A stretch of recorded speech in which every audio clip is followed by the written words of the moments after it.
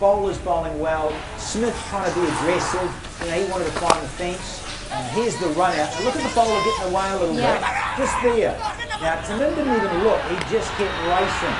So, as I say, this, game, this form of the game, that happens. And another run out, Marlon Samuels, glorious little pick up and flick on the go.